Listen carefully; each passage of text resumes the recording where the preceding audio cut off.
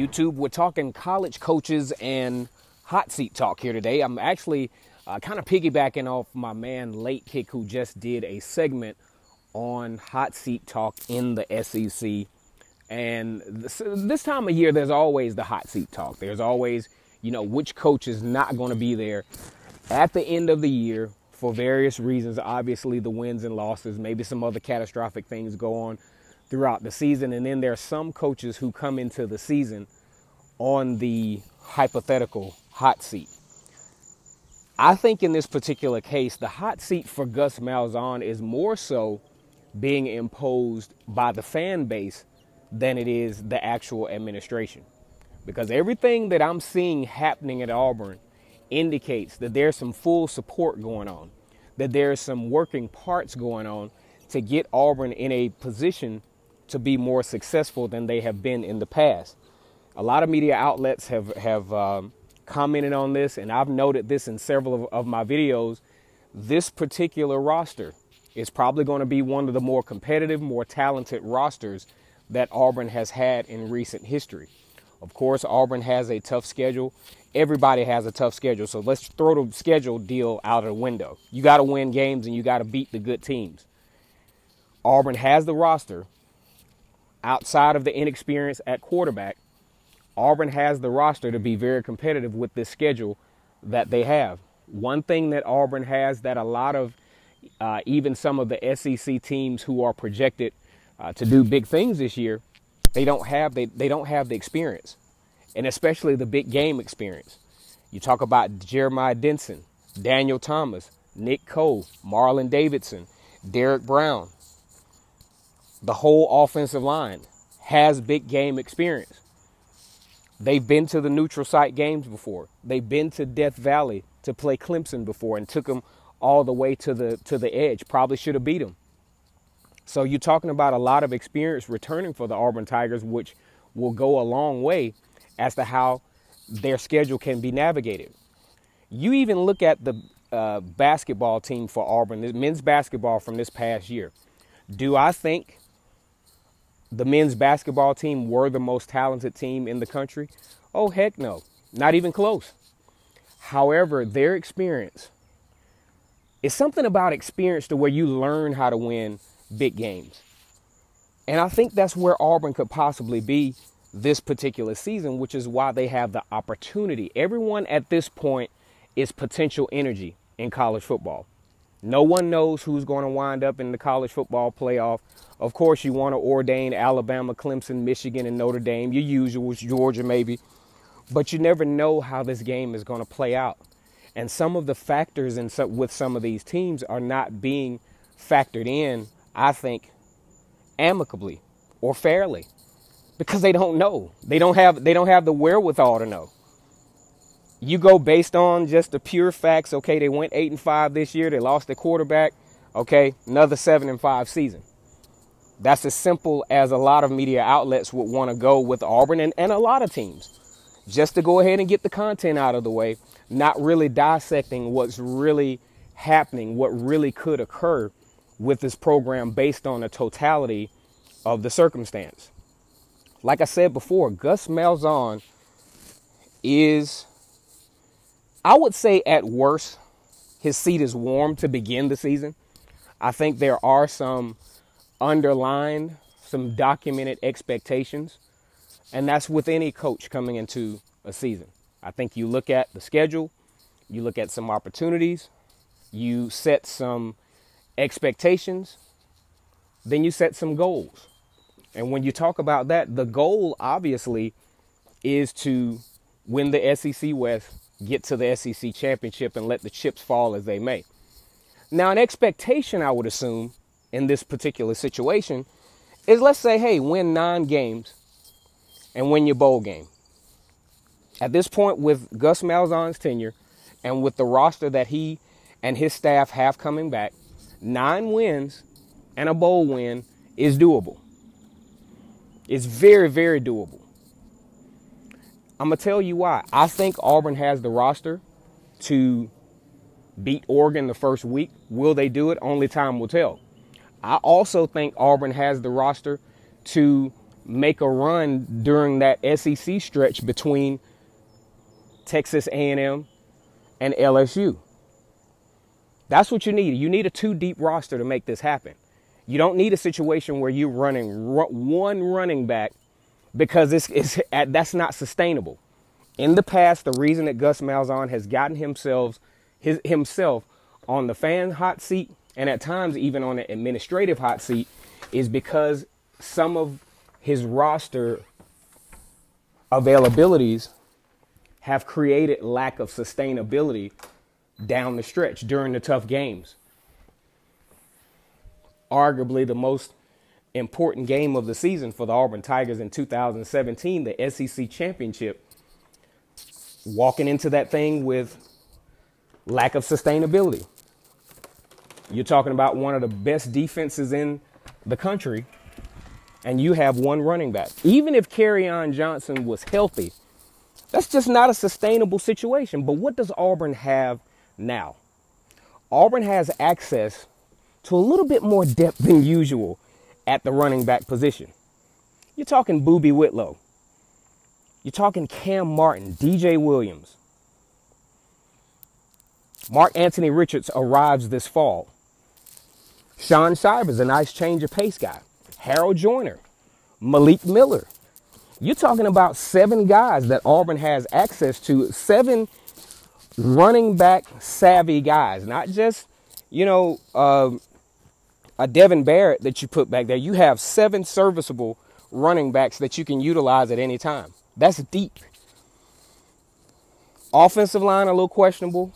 First, uh, the starters I think are good to go some questions with the reserves, obviously.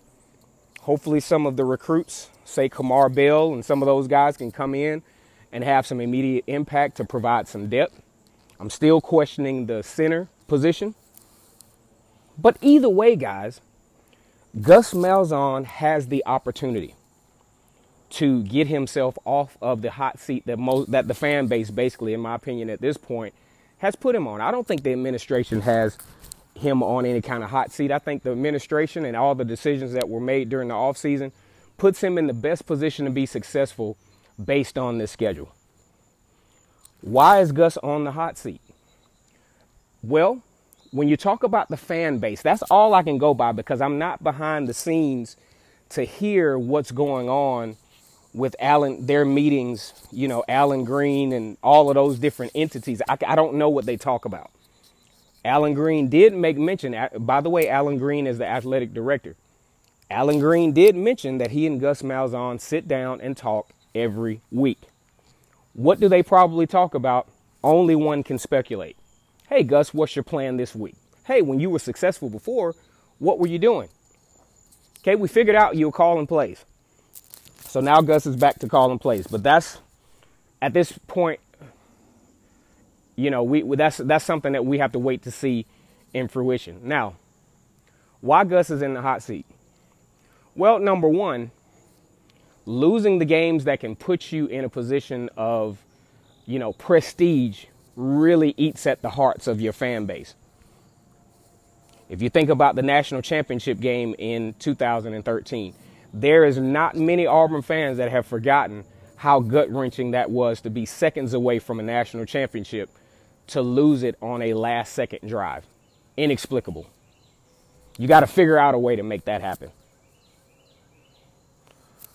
A couple of years later, in 2016, in my opinion, I think an inexplicable loss for Auburn was one, the Clemson game to begin the season with the whole five quarterback thing that, that Auburn had going on, and still having an opportunity to win the game late against the best, one of the best teams in the country. That was a bad one. The Georgia game in 2016 was a bad one. No type of adjustments made. You basically lose to a not so talented Kirby Smart team by turnover. I think that's kind of unacceptable. Then you fast forward over to 2017 you're on the road in Baton Rouge for the first time since 1999 with an opportunity. You're thrashing LSU, absolutely thrashing LSU. Only to lose that game 28 to 23. That game was eerily similar to the loss to Florida State. Kind of looked just like it. That that's the kind of stuff that gets you on the hot seat. And then your the post game interviews that say, "Oh man, we had our chances." No shit. We know you had your chances. I'm, I mean, excuse my language. We know you had your chances.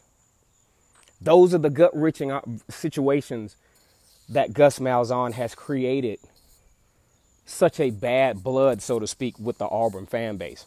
How casually it seems, perception wise, it seems that he loses these types of games.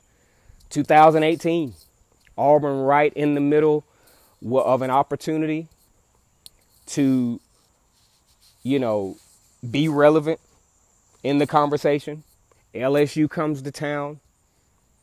Auburn all but beating LSU all over the field up until the middle of the fourth quarter. An inexplicable read by Deshaun Davis and an even even more worse read by Daniel Thomas results in an LSU touchdown late 21 to 19. Then the series of pass interference calls that keeps the drive going ushered LSU right into field goal range to beat Auburn 22 to 21 and that Auburn team in 2018 did not play with that level of intensity again until maybe Purdue. Those are the kind of games as to why Gus is on the hot seat. You got to win the winnables. Same thing with Tennessee. No way you lose to Tennessee. No matter uh, all the, you just don't put yourself in position to lose that game. You get the LSU game back, you get the Tennessee game back, 10, 10 wins, possibly, and no hot seat. Hey, you won 10 games. Okay, cool. We would have wanted a uh, SEC championship, SEC West, all that stuff. 10 wins, hey, good to go. But losing those types of games are why Gus Malzahn on the hot seat. 2017 again. Okay? You lose the SEC championship game. Okay, not good, but hey, you're doing good to be even be there. UCF, presumably one of the hottest teams in the country, riding a winning streak, trying to make an argument every single week as to why they should be a college football playoff team. Who do they match up with in the Peach Bowl? Auburn. Auburn beat the two teams that represented the college football playoff national championship game. Both teams, by the way, out of the SEC. Auburn beat both of them, beat both of them double digits. UCF in the perfect position to solidify their case as to why they should have been in the college football playoff. What does Auburn not do? Auburn doesn't rise to the occasion. Gus Malzahn and his staff was not able to relay the message as to how important it was for Auburn to win this game to silence UCF and avoid basic college football public embarrassment. He couldn't get them up to do it. Those are the kind of losses that moving forward will continue to have Gus Malzahn on the hot seat. Now, here's the thing. What I'm looking at for Gus Malzahn this year, especially with everything that he has ahead of him, a relatively good coaching staff, Great recruiting efforts already for the 2020 class, jumped from 29 to 14. Also, a great opportunity ahead out in Arlington, Texas, with a, a, game against Oregon. Would be very nice for Auburn to pull that game off, obviously. National exposure. It's going to be a prime time game on ABC. Would be a good look for Auburn. Good look for Oregon as well a good showing in that particular game will go a long way recruiting wise and a long way with this whole hot seat talk. Okay? Gus Malzahn has to win the winnable games. And whether the fan base or whether media outlets would like to believe it, based on this roster, Auburn has the opportunity to win that stretch between Texas A&M and LSU. Or at least come out of there with just one loss that could be the goal in that situation. Come out of that stretch with one loss and get ready for your stretch in November to try to make a run, uh, at least perception wise, to say, hey, we're, we're trying to make a run at this SEC West uh, championship. All right, guys, let me know what you think about this whole uh, pre uh, postseason, uh, preseason, uh, Gus Malzahn hot seat talk, um, state of the program, all of those different types of things. Want to give a shout out to NMD TV, who's also talked some hot seat talk, and also the late kick, who's talked hot seat talk as well. Very, very good uh, sports analyst here on YouTube. Uh, once again, it's Kennard Vernon Stewart here for the podcast for Vernon Speak Sports Auburn, where it's always great to be an Auburn Tiger on my channel. Also, go ahead and like this video, subscribe, click the button so you don't miss any of the content. As always, War Eagle.